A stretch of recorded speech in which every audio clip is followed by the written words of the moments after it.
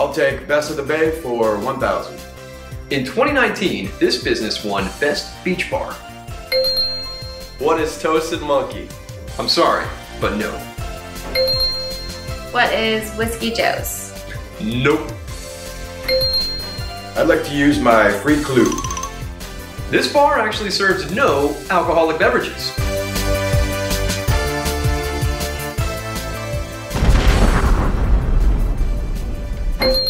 I know it, I know it, I know it. Bula on the beach. You forgot to phrase that in the form of a question, so I'm sorry, but no. What is Bula on the Beach? That is correct. And to answer your question, Bula on the Beach is a kava bar home to some of the area's most extravagant parties. The industry's strongest and finest kava and botanical teas. A welcoming group of smiling, friendly faces. And an environment you can have a blast at without having to call an Uber at the end of the night. Come on down to Bula on the Beach, check it out, see for yourself. If you've never had kava, your first show is on the house.